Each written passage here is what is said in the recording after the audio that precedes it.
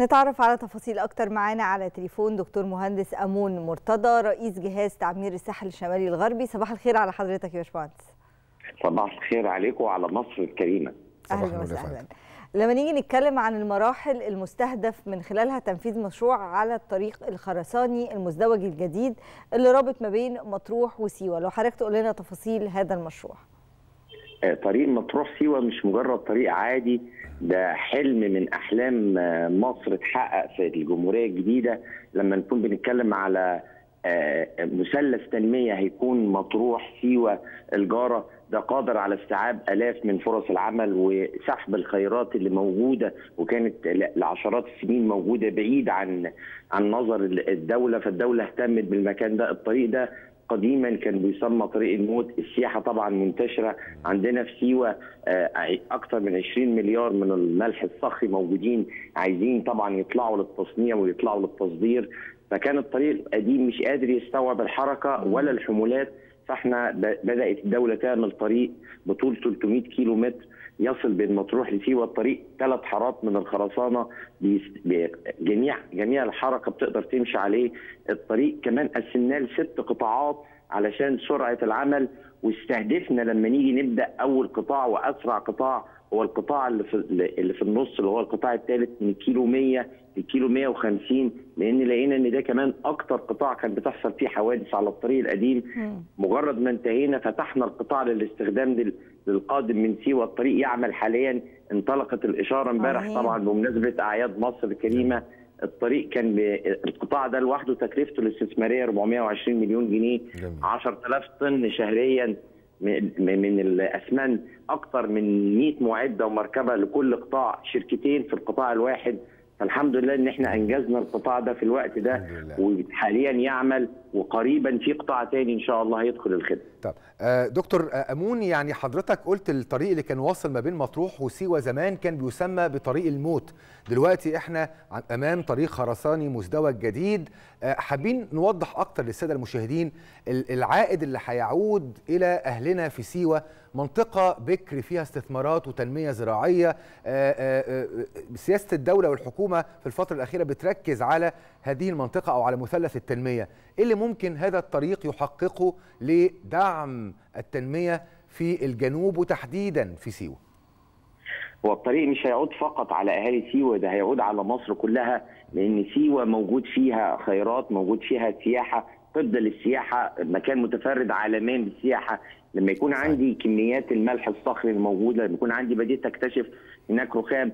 ده عايز يمشي على طريق قادر على شيل الحمولات العالية وعندي مينا جديد بيتعمل في أقصى الغرب المينا الجديد مينا جرجوب الجديد.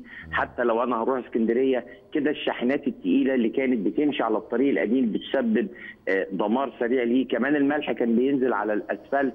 طبعا ما بيقدرش يقاومه إنما الطريق الخرساني ده بيقدر يقاوم المواصفة بتاعته. هي أعلى مواصفة موجودة أعلى كود إحنا مش بس بنفتخر إن ده طريق إحنا بنفتخر إن بلدنا في أقصى الصحراء الغربية اتجهت إنها تعمل هذا الطريق بهذه الإمكانيات.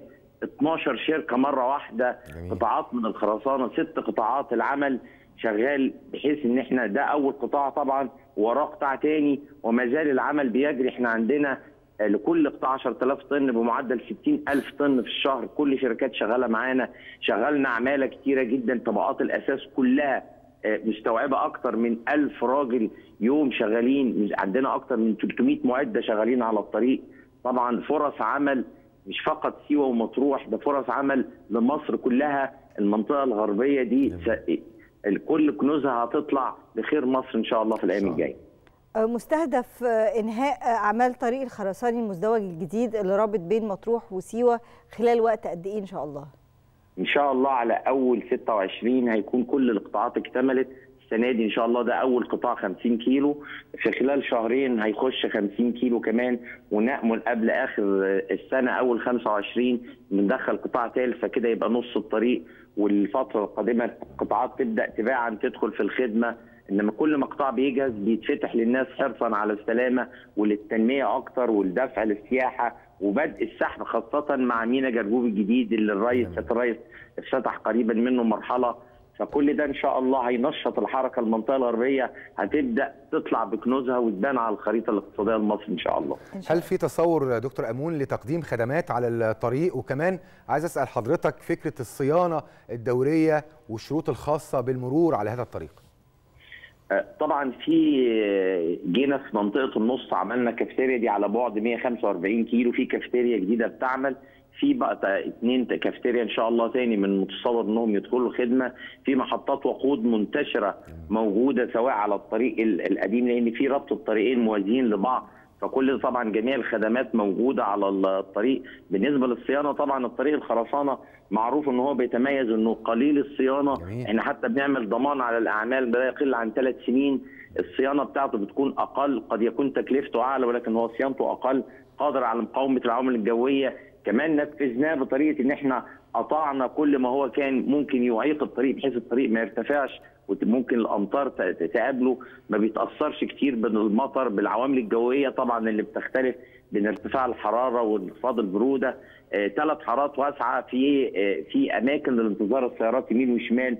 اتعملت مصدات من نيوجيرسي لعدم حركة الرمال أو تعوق حركة بعض الجمال في الأماكن اللي ممكن كانت بتطلع قبل كده على الطريق وتسبب حوادث. فإن شاء الله آه، كل أهلنا في غرب مطروح وكل المرتادين لسيوة وكل محبي سيوة على مستوى العالم بندعوهم في جديد في سيوة في طريق بيتنفذ بأعلى مواصفة للطرق موجود يستوعب كافة أنواع الحركة الطريق مش فقط العربيات النقل الثقيله لا ده العربيات الثقيله والعربيات الصغيرة والأتوبيسات السياحية. فإحنا بنرحب بالجميع على أرض مطروح وسيوة. سيوة آه، منجم من مناجم صحيح. السياحة. سيوة طبعا آه، الشهرة بتاعتها كانت تحتاج أكتر من كده وإحنا مستمرين في العمل إن شاء الله لحين انتهاء المشروع الضخم واحد من المشكلات اللي بتواجه كتير من الطرق هي عدم الصيانة. يمكن حضرتك لسه بتقول لنا إنه هذا الطريق الخرساني الصيانة فيه مش هتكون تكلفتها عالية. لكن إحنا حاطين خطة لصيانته بحيث إن هو يستمر معانا أطول فترة. هل في كمان يعني مواصفات للعربيات بحيث إن إحنا نقدر نحافظ على الطرق ال- الحمولة ال- آه، السرعات كل بقى الحاجات دي؟ هل في آه، مواصفات معينة لتحميل السيارات عليه؟ طبعا إحنا عندنا الكود المصري اللي اللي بينص على السرعة وبينص على الحمولات الطريق ده متصمم على أقصى حمولة موجودة على الكود المصري. الطريق طبعا إحنا محددين عليه السرعة حاليا ب 100 كيلو متر للساعة للثلاث حارات. آه، آه، طبعا الطريق اتفتح التشغيل التجريبي من امبارح في أعياد سينا. آه، كمان هو قادر على التعامل على آه، أنواع الحمولات. كمان هي دي اللي كانت بتسبب مشكلة اللي كان بيتساقط منها الملح اللي كان بيتساقط منها مواد محجرية. الطريق قادر على التعامل معاها. إحنا متواجدين على الطريق لمدة ثلاث سنين كمان قادمة إن شاء الله ما شاء الله. بضمان أعمال. وبعد كده ما هتستمر معانا الهيئة العامة للطرق والكباري اللي هتسلم المشروع في أعمال الصيانة. وطبعا الطريق كمان استهدفنا المناطق اللي كان فيها مشاكل زي منطقة الج... مدخل الجارة منطقة بير النص أضأناها بأعمدة إضاءة بالطاقة تعمل بالطاقة الشمسية فإحنا مستمرين ومراقبين الطريق كويس وإن شاء الله لأن ده مش مجرد طريق ده شريان حياة ده ده طريق أمل في المنطقة الغربية. كلها كانت بتنتظره لعشرات السنين اتحقق أخيرا في الجمهورية الجديدة فده حلم إحنا بنشكر القيادة السياسية عليه وبنشكر بلدنا إنها حست بالمنطقة الغربية وانها المنطقة دي كانت تحتاج ولم تبخل الطريق تكلفته 4 مليار جنيه صحيح.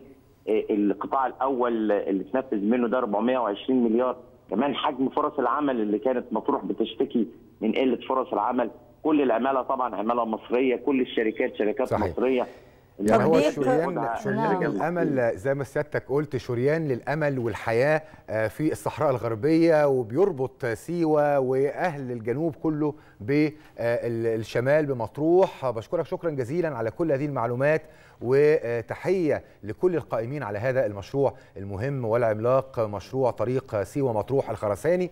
دكتور مهندس أمون مرتضى رئيس جهاز تعمير الساحل الشمالي الغربي بشكرك شكرا جزيلا.